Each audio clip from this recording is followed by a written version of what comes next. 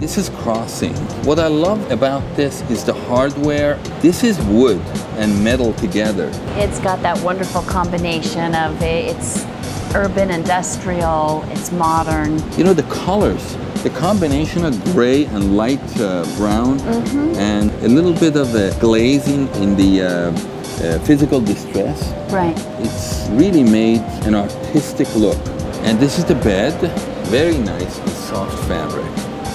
And combination of wood, metal, and fabric, and a beautiful design. And the twin beds. Love those. I know, that's, that's one of my favorites. Yeah. It looks like we're in kids' room. I know, it's wonderful. well, I love how it ties into the adult bed there Yes. and, you know, gives the kids, makes them feel special. It all ties together and it's got that fun feel.